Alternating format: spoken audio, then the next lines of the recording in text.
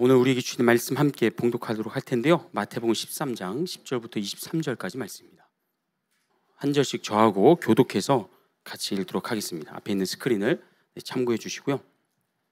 제자들이 예수께 나와 이르되 어찌하여 그들에게 비유로 말씀하시나이까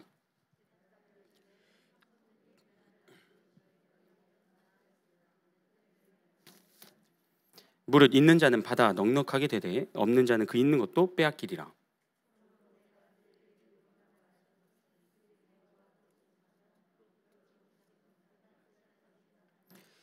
이사의 예언이 그들에게 이루어졌으니 일렀으되 너희가 듣기는 들어도 깨닫지 못할 것이요 보기는 보아도 알지 못하리라.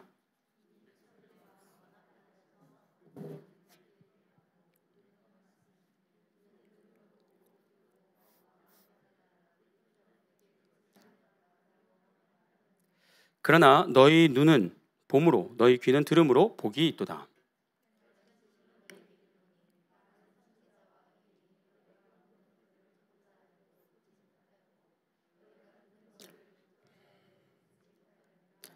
그런즉 씨 뿌리는 비유를 들으라.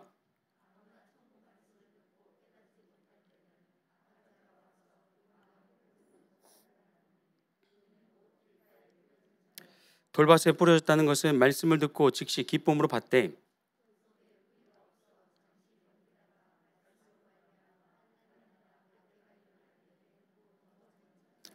가시떨기에 뿌려졌다는 것은 말씀을 들으나 세상의 염려와 재물의 유혹에 말씀이 막혀 결실하지 못하는 자와 함께 읽겠습니다. 좋은 땅에 뿌려졌다는 것은 말씀을 듣고 깨닫는 자니 결실하여 어떤 것은 100배, 어떤 것은 60배, 어떤 것은 30배가 되느니라 하시더라. 아멘. 수예배에 이렇게 대면으로 또 온라인으로 참여하신 성도님들을 주님의 이름으로 축복하고 환영합니다. 오늘 어, 예수님의 비유 시리즈 네 번째 시간인데요. 씨 뿌리는 비유를 통해서 하나님의 은혜를 함께 나누고자 합니다. 이 씨 뿌리는 비유는요. 마태복음에만 아니라 마가복음 4장과 누가복음 8장에도 동일하게 기록이 되어 있는데요. 특별히 마, 마가복음 4장 13절에 보면 예수님께서 이 씨 뿌리는 자의 비유를 가리켜서 이렇게 말씀하십니다. 한번 보세요. 또 이르시되 너희가 이 비유를 알지 못할진데 어떻게 모든 비유를 알겠느냐. 이미 여러 번 제가 말씀을 드린 것처럼 예수님의 비유들은 그 목적이 분명하다고 했습니다. 하나님께서 창세부터 감춰놓은 하나님의 나라, 즉 천국의 비밀을 드러내기 위하여 비유를 이제 말씀하시게 됩니다. 따라서 마가복음 지금 4장 13절은요. 씨 뿌리는 비유가 어떻다는 의미를 갖고 있습니까? 천국 비밀의 가장 기본적인 방향과 가장 중요한 메시지를 담고 있다는 뜻을 함의하고 있습니다. 우리는 이 사실을 이제 마태복음 13장에서도 이제 확인해 볼 수가 있는데 마태복음 13장 3절을 보시면 이렇게 됩니다. 예수께서 비유로 여러 가지를 그들에게 말씀해 이르시되 씨를 뿌리는 자가 뿌리러 나가서 예수님께서 마태복음 13장에서 비유를 하나만 말씀하신 게 아니라 여러 가지를 말씀하시게 되는데 그 가운데서도 씨 뿌리는 자의 비유를 제일 먼저 말씀하신 이유 그것은 마가복음 4장 13절에서 우리가 확인했듯이 이 비유 안에 천국 비밀의 가장 기본적인 틀과 가장 중요한 메시지가 들어있기 때문이라는 겁니다. 이해가 되시죠? 자, 계속해서 4절 말씀을 한번 보겠습니다. 4절부터 쭉 볼게요. 시작. 뿌릴새 덜어는 길가에 떨어짐에 새들이 와서 먹어버렸고 덜어는 흙이 얕은 돌밭에 떨어짐에 흙이 깊지 아니하므로 곧 싹이 나오나 해가 돋은 후에 타서 뿌리가 없으므로 말랐고 덜어는 가시 떨기 위에 떨어짐에 가지가 가시가 자라서 기운을 막았고 덜어는 좋은 땅에 떨어짐에 어떤 것은 100배, 어떤 것은 60배, 어떤 것은 30배 결실을 하였느니라. 자, 10 뿌리는 비유에 있어서 우리가 가장 먼저 눈여겨볼 것이 있는데 뭐냐면 덜어는이라는 표현입니다. 계속해서 반복돼서 나오는데요. 이게 왜 중요하냐면 이 표현으로 인하여 우리는 비유에 등장하는 네 종류의 밭이 따로따로 독립되어 있거나 분리되어 있는 것이 아니라 서로 연결되어 있다는 것, 같이 붙어 있다는 것을 알 수 있기 때문입니다. 자, 이 부분은 제가 뒤에 가서 더 자세히 설명을 드리기로 하고요. 일단 비유의 내용을 간단하게 정리하면 이렇습니다. 한 농부가 비유에 등장합니다. 그리고 이 농부는 당시 유대인들의 농사법에 따라서 파종을 했습니다. 우리나라처럼 이렇게 모내기를 한 것이 아니라 그냥 씨를 뿌리는 파종을 하게 되는데 그 뿌리는 씨가 길가, 돌밭, 가시떨기 그리고 좋은 땅이 어떻게 됩니까? 고루 떨어집니다. 그러니까 그 농부가 좋은 땅에만 막 이렇게 팍 뿌린 게 아니라 그냥 씨를 뿌린 겁니다. 뿌렸는데 같은 공간에 있다 보니까 길가 또 돌밭 가시떨기 좋은 땅에 고루고루 씨가 이제 떨어지게 됩니다. 그런데 어디에서만 열매가 결실이 됩니까?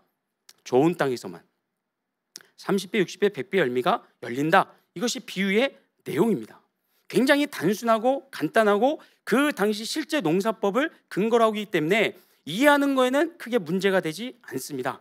그런데 이것에 대한 이제 예수님의 해석이 중요한 거죠. 본문 19절부터 23절을 다시 한번 보시면요. 아무나 천국 말씀을 듣고 깨닫지 못할 때는 악한 자가 와서 그 마음에 뿌려진 것을 빼앗나니 이는 곧 길가에 뿌려진 자요.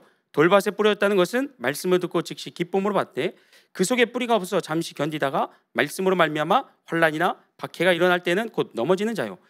가시떨기에 뿌렸다는 것은 말씀을 들으나 세상의 염려와 재물의 유혹에 말씀이 막혀 결실하지 못하는 자요.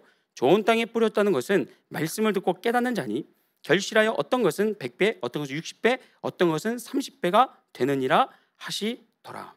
자, 앞에 있는 마태복음 13장 3절부터 8절에 있었던 그 씨 뿌리는 자의 비유 자체와 그리고 그 비유에 대한 예수님의 해석을 우리가 이렇게 한번 쭉 살펴봤을 때 첫 번째 우리가 찾아볼 수 있는 천국의 비밀 이 비유 속에 담겨 있는 첫 번째 비밀은 뭐냐면 이겁니다. 열매를 맺는 데 있어서 제1의 관건 가장 중요한 것은 땅의 상태라는 거죠. 땅의 상태. 다시 말하면 뿌려지는 씨의 양이나 씨의 어떤 종류와 관계없이 오직 그 씨가 떨어지는 땅, 땅이 어떤 상태에 있느냐, 땅이 어떻게 되어 있느냐에 따라서 열매의 유무가 결정이 된다는 겁니다. 자, 비유에 등장하는 씨는 천국 말씀이라고 하고요. 네 종류의 땅은 각각 사람들의 마음과 영적인 상태를 의미한다고 예수님이 해석해 주셨습니다. 이 가운데 오직 좋은 땅에만 열매가 맺히게 되는데 그렇다면 좋은 땅은 어떤 사람을 의미하는가? 본문 11절을 같이 읽습니다. 시작. 천국의 비밀을 아는 것이 너에게는 허락되었으나 그들에게는 아니 되었나니.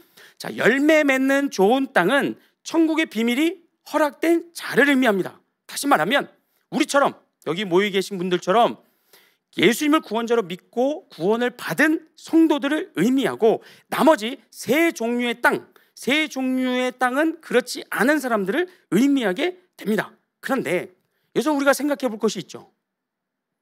우리가 어떻게 천국의 비밀을 알게 되었냐 말입니다. 우리가 어떻게? 다른 사람보다 우리가 더 잘나서 더 똑똑하고 더 의롭기 때문에 천국의 비밀을 허락받은 겁니까? 그렇지 않습니다. 우리가 잘 알다시피 죄 사함과 구원은 전적으로 하나님의 놀라운 은혜 덕분입니다. 이렇게 하나님의 은혜로 말미암아 제대로 예수님을 믿어서 좋은 땅이 된 성도들은 반드시 어떻게 한다고요? 말씀을 들으면 그 말씀에 합당한 열매를 결실한다는 거. 자동으로 이루어진다는 거. 이게 이 비유에 담기는 첫 번째 천국의 비밀입니다. 자, 두 번째는요. 땅의 상태가 불변한다는 겁니다. 땅의 상태가 불변한다. 농부가 씨를 뿌리기 전에 이미 이 네 종류의 땅은 뭡니까? 결정되어 있었습니다. 그런데 더 놀라운 것은 그 네 종류의 땅에 하나님의 말씀이 뿌려졌어요. 그 말씀이 들어갔음에도 불구하고 상황이 땅의 상태가 조금도 변화되지 않았다는 겁니다. 왜 그럴까? 그 이유가 본문 13절이 나옵니다. 13절이요. 같이 읽습니다. 시작. 그러므로 내가 그들에게 비유로 말하는 것은 그들이 보아도 보지 못하며 들어도 듣지 못하며 깨닫지 못함이니라. 즉 다른 땅들이 좋은 땅을 제외한 다른 땅들이 하나님의 말씀을 동일하게 받았음에도 좋은 땅으로 바뀌어지지 않은 이유는 그들이 받은 씨, 음, 그들에게 떨어진 음, 천국의 말씀에 어떤 문제가 있거나 그 말씀 자체에 능력이 없어서가 아니라는 겁니다. 그럼 뭘까요? 하나님께서 그렇게 되어지도록 이미 결정하셨다는 거죠. 역사하셨다는 겁니다. 들어도 깨닫지 못하도록 그들을 우둔하게 만드시고 그들의 마음 상태, 마음밭을 가시밭길로, 뭐 돌밭길로, 뭐 길가로 딱딱하게 만드셨다는 거죠. 이처럼 땅의 상태가 하나님의 주권에 의하여 정해지고 불변한다는 것. 다시 말해서 하나님께서 저와 여러분을 얼마든지 길가나 돌밭이나 가시떨기로 만드실 수 있음에도 그죠? 우리를 길가처럼 우리를 돌밭처럼 가시떨기처럼 만들어 주실 수 있음에도 불구하고 그렇지 않으시고 좋은 땅으로 만들어 주셨다는 겁니다. 이거 우리는 뭐라고 부른다고요? 하나님의 은혜라고요. 하나님의 은혜. 세 번째, 천국의 비밀은요, 이겁니다. 열매의 양이 중요하지 않다는 거예요. 열매 양. 본문을 얼핏 보면요. 좋은 땅에서 맺어지는 열매를 30배, 60배, 100배라고 이렇게, 이렇게 이야기를 해서요. 마치 성도들이 말씀에 따라서 반응하는 맺어지는 그 말씀의 열매에 따라 뭐 1등, 2등, 3등. 그러니까 뭐 엘리트 성도가 있고 뭐 미디움 성도가 있고 좀 이렇게 떨어지는 뒤떨어지는 성도가 있는 것처럼 그렇게 오해될 수 있습니다. 하지만 본문 12절에 한번 보시죠. 본문 12절. 시작. 무릇 있는 자는 받아 넉넉하게 되되 없는 자는 있는 것도 빼앗기리라. 여러분 여기서 있다 없다는 무엇을 얘기할까요? 뭘 뭐가 있다고 하는 거고 뭐가 없다는 겁니까? 그 앞에서 이야기했던 11절 말씀이죠. 천국의 비밀을 아는 지식과 지혜를 의미합니다. 그러니까 11절과 12절을 이렇게 딱 짬뽕을 해서 부연 설명 붙인다면 이런 거죠. 12절이 이렇게 되는 겁니다. 무릇 천국의 비밀을 아는 지식과 지혜가 있는 자는 그것을 더 받아서 넉넉하게 된다는 겁니다. 아시겠죠? 그렇지 않은 자는 어떻게 해요? 말씀을 들어도 빼앗긴다는 거예요. 말씀이 아무런 효과가 없다는 겁니다. 이게 무슨 말이냐면 이런 거예요. 성도들 안에 하나님의 말씀이 천국의 말씀이 한 번 딱 뿌려지고 끝나는 게 아니라는 겁니다. 한 번 딱 뿌려지고 끝나는 게 아니라고요. 만약에 만에 하나 여러분 우리가 신앙생활을 하는 동안에 딱 한 번만 천국의 말씀이 우리에게 주어지고 끝난다면 그래서 그 말씀을 받은 이후에는 오로지 우리 자신의 노력으로 종자 씨를 다시 만들어내고 그 씨를 뿌려서 열매를 거둬야 한다면 우리가 한 번에 얼마나 많은 열매를 거두느냐가 아주 중요한 이슈가 될 겁니다. 옛말에 다다익선이란 말이 있죠. 열매를 많이 거둘수록 어떻게 합니까? 많이 심을 수가 있고요. 많이 심는 사람이 그렇지 않은 사람보다 더 많이 거둘 수 있습니다. 때문에 만약에 하나님의 나라가 하나님의 은혜보다 이러한 성도의 노력을 더 높이 사주고 성도의 수고와 헌신으로 나라가 확장되는 그런 개념이라면 시간이 갈수록 교회 안에는 열매를 많이 거둔 자들의 뭐가요? 자기 의와 자기 자랑의 목소리가 점점 더 커질 겁니다. 왜요? 처음에야 처음 시작은 하나님의 도움을 받았다 쳐도 그 뒤로는 어떻게 해요? 자신의 수고와 땀이 들어가기 때문에요. 그 결과를 맞이하기 때문에요. 그러니까 많이 가지면 가질수록 많이 열매를 맺으면 맺을수록 얼마나 더 생색을 내고 얼마나 더 자기가 이거 했다고 저거 했다고 뻐기고 자기 공로를 자랑하겠냐 말이죠. 근데 이게 맞습니까? 아니죠. 틀린 겁니다. 좋은 땅에 30배, 60배, 100배 열매가 맺힌다는 말씀은 30배보다 60배가 낫고 60배보다 100배가 더 잘난 성도다. 더 뛰어난 성도다. 이걸 얘기하는 게 아닙니다. 이와 정반대로 열매의 양이 좋은 땅에서 맺혀지는 열매의 양이 30배든 100배든 관계가 없다는 얘기입니다. 관계가 없다고요. 왜냐하면 우리가 제대로 구원을 받아서 천국의 비밀을 허락받은 그날로부터 하나님은 쉬지 않으시고 한 번도 어기지 않으시고 계속해서 그분의 말씀을 우리에게 뿌려주시기 때문입니다. 계속해서 우리에게 그분의 말씀을 넣어 주십니다. 본문 12절에서 말씀하고 있는 무릇 천국의 비밀을 아는 지식과 지혜가 있는 자는 그것을 더 받아서 넉넉하게 된다. 이게 그런 뜻입니다. 그러니까 좋은 땅이냐 아니냐가 중요하지. 그 땅에서 열리는 열매가 30배냐 100배냐 서로 경쟁하고 서로 누가 잘났냐 이거 따지라고 되어 있는 기록이 아니라는 겁니다. 왜냐하면 내가 스스로 씨를 마련해서 뿌리는 것이 아니라 하나님의 은혜로 말씀의 씨가 계속해서 공급되어지기 때문에 계속해서 나에게 허락되기 때문에 그 은혜의 결과로 맺어지는 열매의 양은 중요하다 중요하지 않다? 중요하지 않다는 겁니다. 그러니까 여러분 신앙생활 하시면서 남보다 말씀을 좀 더 안다고 여러분 으쓱하거나 교만하시면 안 됩니다. 또 반대로 말씀을 좀 잘 모른다고 여러분 뭐 위축되거나 빼실 거 없습니다. 혹시 내가 말씀을 잘 몰라서 교사를 못 하시겠다는 분이 계시다면 하세요.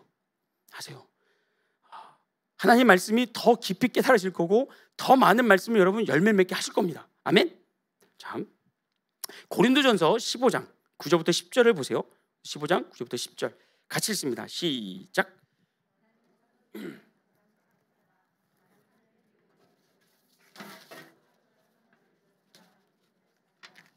그러나 내가 나의 것은 하나님의 은혜로 된 것이니 그의 은혜가 헛되지 아니하여 내가 모든 사도보다 더 많이 수고하였으나 내가 한 것이 아니요 오직 나와 함께 하신 하나님의 은혜로다.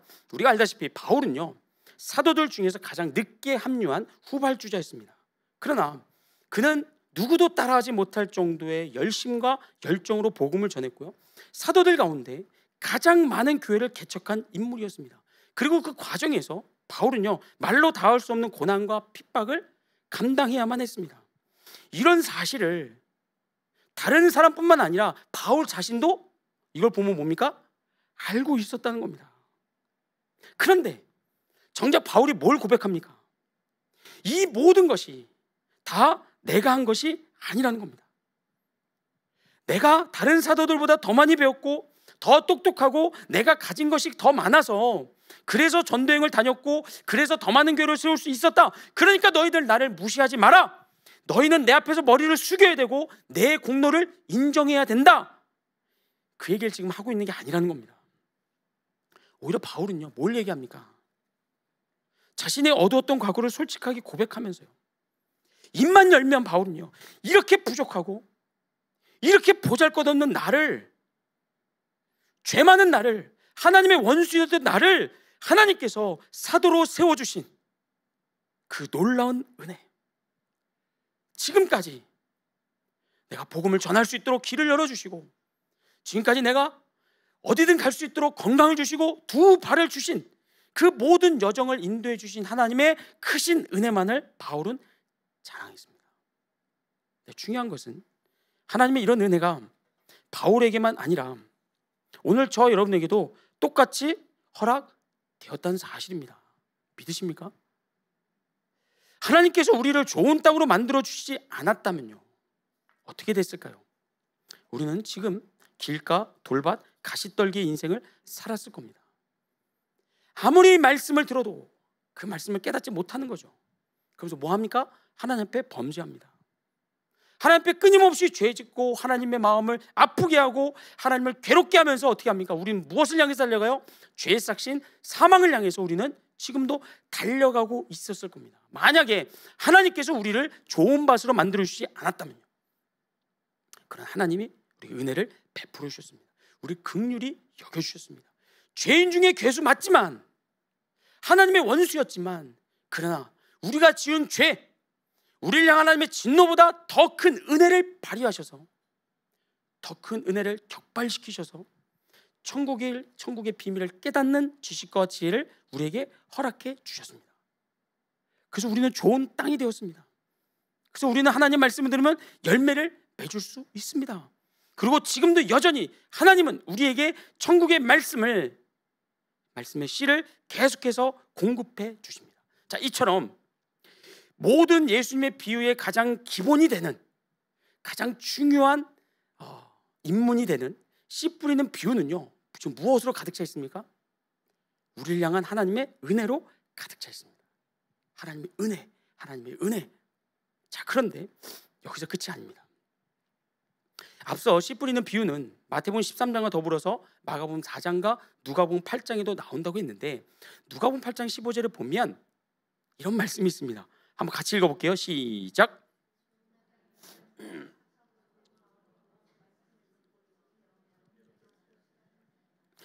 지금까지 우리는 씨 뿌리는 비유에서 우리를 향한 하나님의 놀라운 은혜에 주목했습니다. 우리가 좋은 땅이 되는 것도 하나님의 은혜요. 우리가 그 말씀을 받았을 때 30배, 60배, 100배를 열매를 맺는 것도 하나님의 은혜요. 우리가 30배를 맺든 100배를 맺든 그걸 상관하지 않는 것도 하나님의 은혜.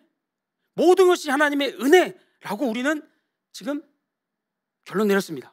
그런데 누가복음 8장은 지금 무엇을 이야기하고 있습니까? 하나님의 은혜로 좋은 땅이 된 우리 성도들이 어떻게 해야 된다고요? 가만히 있어서는 안 된다고요. 다 하나님의 은혜로 주어졌고 다 하나님의 은혜로 이루어지는 것인데 그 과정에서 우리가 가만히 있어서는 안 된다는 겁니다. 어떻게 하라고요? 하나님 말씀에 순종하고 인내로 열매를 맺어야 된다는 거. 그걸 지금 강조하고 있다는 겁니다. 분명 씨 뿌리는 비유는 전반적으로 하나님의 은혜를 강조합니다. 그런데 왜 누가복음 8장은 그 하나님의 은혜에 더하여 성도들의 순종과 인내를 얘기하냐 말이죠. 이게 제일 중요한 메시지인데 그건요.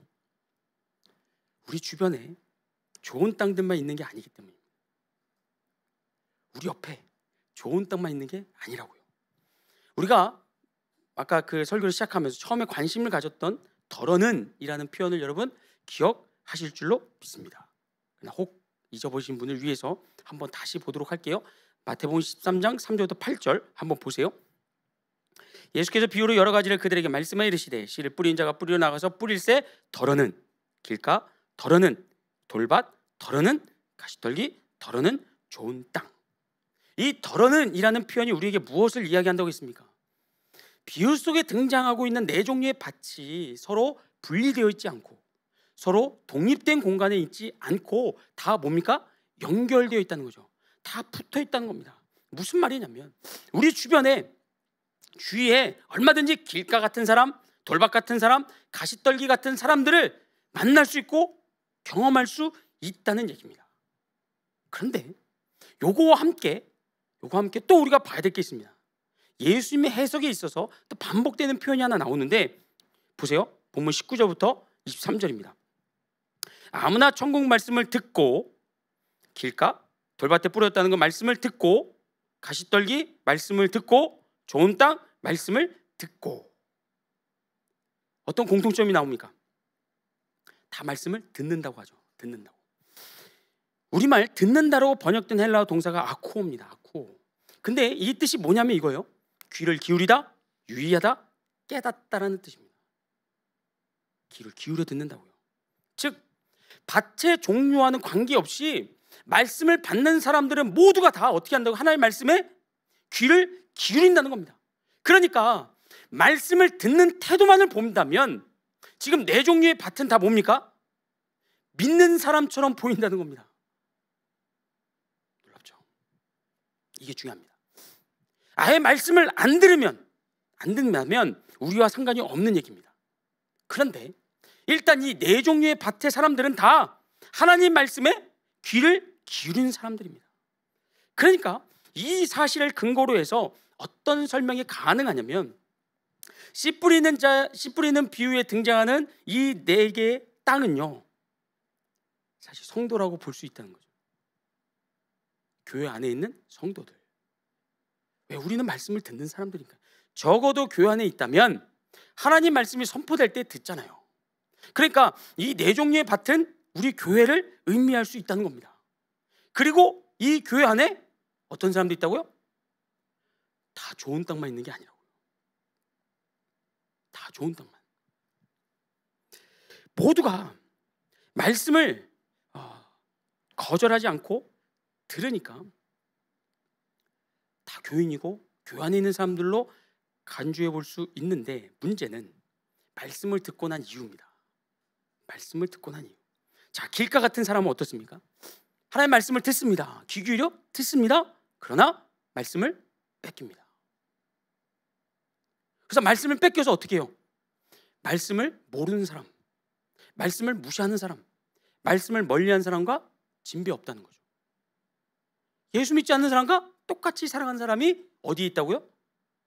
교회 밖에 아니라 교회 안에 있을 수 있다고요. 또 돌밭 같은 사람은 어떤 사람입니까? 20절 보세요. 돌밭에 뿌렸다는 것은 말씀을 듣고 즉시 기쁨으로 받대. 말씀을 들을 때 어떻게 한다고요? 그 말씀을 듣고 기뻐하신다고요. 마스크를 쓰셔서 여러분이 기뻐하는지 잘 티가 안 나는데 그렇게 하시면 안 되고 기뻐한다고요 막 즐거워한다고요 그러니까 평상시 같으면 이 돌박 같은 사람은 어떻게 보일까요? 믿음이 좋아 보이는 겁니다 은혜 충만한 사람처럼 보인다는 겁니다 신실해 보인다는 거예요 그런데 21절로 넘어가면요. 그 속에 뿌리가 없어 잠시 견디다가 말씀으로 말미암아 환란이나 박해가 일어날 때는 곧 넘어지는 자요. 하나님의 말씀을 들을 당시 그리고 아무 일이 없을 때는 그 말씀에 기뻐합니다. 즐거워합니다. 아 박수도 칩니다. 깨달았다. 야 오늘 말씀에 은혜 받았다라고 합니다. 그런데 어떻게 된다고요? 그 말씀으로 인하여 다시 말하면 예수 믿는 믿음으로 인하여 환란과 핍박을 당할 때는 말씀을 지키지 못한다는 겁니다. 붙들지 못한다는 거예요. 세상에서 너희가 환란을 당하나 담대하라 내가 세상을 이겼노라 이 말씀을 들을 때 박수 쳐요. 그렇지. 예수님이 세상을 이기셨지. 그 환란을 당해도 두려울 거 없지. 평소에는 그렇게 얘기합니다. 하지만 진짜 문제를 만나면 환란을 당하면 어떻게 한다고요? 홀라당 넘어진다고요. 믿음을 포기하고 내려놓습니다. 계속해서 가시떨기 같은 사람은 22절 보세요. 시작. 가실떡이에 뿌렸다는 것은 말씀을 들으나 세상의 염려와 재물의 유혹에 말씀이 막혀 결실하지 못하는 자요. 자, 이분도요. 평소에는 말씀을 듣습니다. 들어요. 그런데 문제가 생기면 특히 경제적인 문제, 어려움 이게 딱 닥쳐오면 어떻게 합니까? 자신의 안전과 편안을 더 우선합니다. 너희 염려를 다 주께 맡기라. 이는 그가 너희를 돌보심이라. 말씀을 듣습니다. 그런데 그 말씀을 적용하지 않습니다. 정작 그 말씀을 발휘해야 될 때, 그 말씀을 써먹어야 될 때를 써먹지 못합니다. 아무것도 염려하지 말고 오직 모든, 모든 일에 기도와 간구로 너희 구할 것을 감사함으로 하나님께 아뢰라. 말씀은 듣습니다. 그러나 그 말씀이 정작 발휘돼야 될 때, 믿음으로 고백돼야 될 때 고백하지 못하고 넘어진다는 거죠. 하나님의 말씀보다 당장 이익과 자신의 유익을 우선 하는 겁니다. 문제는 이런 분들이 어디 있다고요? 지금 좋은 땅과 함께 교회 안에 있다는 겁니다. 교회 안에 있는데 더 큰 문제는 뭐냐면 정작 좋은 땅이 그분들의 영향을 받는다는 거죠. 평소에는 괜찮습니다. 평소에는 괜찮아요. 다 똑같아 보여. 그런데 내가 어려움이 생기고 문제가 생겼을 때 누구를 보게 됩니까? 하나님 말씀을 보는 것이 아니라 길가 같은 사람, 돌박 같은 사람, 가시떨기 같은 사람들 본다는 겁니다. 그리고 그분들을 부러워합니다. 아, 나도 거짓말 한 번 하면 어려움 피할 수 있는데. 나도 어디 가서 사실 저 뭐 교회를 다니기도 했고 안 다니기도 했고 뭐 그래요. 요즘에 뭐 그렇게 그냥 내 믿음을 좀 감추면 가리면 숨기면 환란을 피할 수 있는데 저 사람들처럼 저렇게 그냥 편하게 쉽게 신앙생활 할 수 없을까? 라면서 정작 좋은 땅으로 구원받은 그런 성도들이 교회 안에서 길가, 돌밭, 가시떨기 같은 사람들의 영향을 받는다는 겁니다. 그래서 뭐 하라는 거예요? 누가복음 8장 15절에 아까 뭐였죠? 하나님의 말씀을 어떻게 하라고요? 지키라고요. 인내로 열매를 맺어야 된다는 겁니다. 뭐 하지 않기 위해서요? 그런 거에 휘둘리지 않기 위해서요. 여러분 주변에 좋은 땅은 하나도 없고 길가만 있고 가시떨기만 있고 뭐 돌짝박 같은 사람들만 있어요. 그래서 믿음 좋은 쪽 믿음, 믿음을 성, 선포하고 신앙을 고백하고 어떤 문제를 만나도 주저하지 않고 하나님 말씀대로 살아갈 때 그분들을 통해서 비웃음을 당할 수 있습니다. 당신만 예수 믿는 거 아니잖아. 왜 그렇게 유별나게 신앙생활 해? 왜 그렇게 당신만 튀려고 그래? 오히려 핀잔을 듣고 조롱을 당할 수 있다는 겁니다. 그러면서 어떻게 한다고요? 헷갈린다고요. 아, 그렇지. 누구 좋으라고 이렇게 좀 더 쉬운 길이 있고 편한 길이 있는데 눈 한번 딱 감고 불의를 행하면 불법을 행하면 내가 편하고 우리 가족도 편할 수 있는데 뭐 없겠다고 믿음을 지키고 예수님만 붙들고 그렇게 살 필요가 있는가? 라고 그 믿음이 흔들릴 수 있다는 겁니다. 평소에는 괜찮습니다. 문제를 만나면 드러납니다. 이걸 우리가 피하기 위해서 우리의 믿음을 온전하게 지키기 위해서 어떻게 해야 된다고요? 하나님의 은혜로 인하여 날마다 공급받는 것 플러스 뭐가 필요하다고요? 우리의 노력이 필요하다는 겁니다. 우리가 노력하지 않으면 하나님의 은혜를 안 주신다는 게 아닙니다. 하나님의 은혜는 면면이 흘러갑니다. 날마다 부족함 없이 우리에게 부어집니다. 그러나 우리가 믿음을 지키려고 인내하지 않고 순종하지 않으면 그 은혜를 망각하게 됩니다. 잊어버립니다. 그리고 이상한 데 기웃거립니다. 불법을 행하는 사람들을 부러워합니다. 하나님 왜 저한테는 고난을 주시고 저 사람한테는 고난 안 주십니까? 하고 자꾸 원망하고 불평하게 된다는 거죠. 여러분 고린도전서 15장 9절부터 10절 말씀을 다시 보세요. 같이 읽습니다. 시작. 가장 작은 자라 나는 하나님의 교회를 박해하였으므로 사도라 칭함 받기를 감당하지 못할 자니라. 그러나 내가 나 된 것은 하나님의 은혜로 된 것이니 내게 주신 그의 은혜가 헛되지 아니하여 내가 모든 사도보다 더 많이 수고했으나 내가 한 것이 아니요 오직 나와 함께 하신 하나님의 은혜로다. 여러분 이 말씀에서 바울이 무엇을 고백하고 있습니까? 자기가 다른 모든 사도보다 더 많이 수고한 이유가 뭐래요? 그냥 수고만 했습니까? 아니잖아요. 핍박당했잖아요. 고난받았잖아요. 죽을 뻔한 위기를 몇 번이나 넘겼잖아요. 왜 그렇게 했다고요? 왜? 바울이 왜? 자기 잘남을 드러내려고요? 자랑하려고요? 생색내려고요? 아니요. 그 앞에 뭐라고 그래요? 내게 주신 하나님의 은혜가 헛되지 아니하게 하려고요. 나에게 주신 하나님의 은혜가 음, 쓸모없는 취급당하고 아무것도 아닌 게 되지 않게 하기 위해서 그 은혜가 얼마나 놀랍고 얼마나 위대하고 얼마나 가치 있고 얼마나 나를 나대게 하는지 그걸 자랑하게 하기 위해서 자랑하기 위해서 그걸 선전하고 선포하기 위해서 어떻게 했다고요? 모든 사도보다 더 많이 수고했다고. 더 많이. 하나님 은혜가 찬양받기에 합당하시기. 하나님의 은혜는 영광 받으시기에 합당하기에 그 은혜가 나에게 허락된 그 은혜가 퇴색되거나 가치 없는 것으로 전락되지 않게 하기 위해 바울은 뭐 했습니까? 죄와 싸웠습니다. 유혹을 물리쳤습니다. 믿음이 아니면 쉽게 갈 수 있는 길도 믿음 때문에 어렵게 갔습니다. 그러면서 바울이 뭐라고 고백을 합니까? 내가 더 많이 수고한 것은 내가 한 게 아니라고 그러죠. 내가 한 게 아니라 오직 나와 함께 하신 하나님의 은혜로다. 사랑하는 성도 여러분. 하나님의 은혜를 가장 위대한 것으로 바라보고 내가 붙들어야 될 가장 귀한 가치요 보물로 바라보는 분들은요. 죄 짓는 것보다 죄안 짓는 것보다 죄 짓는 게 더 어렵습니다. 순종하는 것보다 불순종하는 게 더 어렵습니다. 왜냐? 내가 범죄하는 그 순간 나에게 허락된 그 놀라운 하나님의 은혜가 헛되이 될 수 있기 때문에 그래요. 내가 불순종하면 그 위대한 하나님의 은혜가 아무 가치 없는 것으로 전락될 수 있기 때문에 그 은혜를 은혜되게 하기 위하여 하나님의 은혜를 붙들고 하나님의 은혜 안에 거하는 성도는요 쉽게 죄지지 못합니다.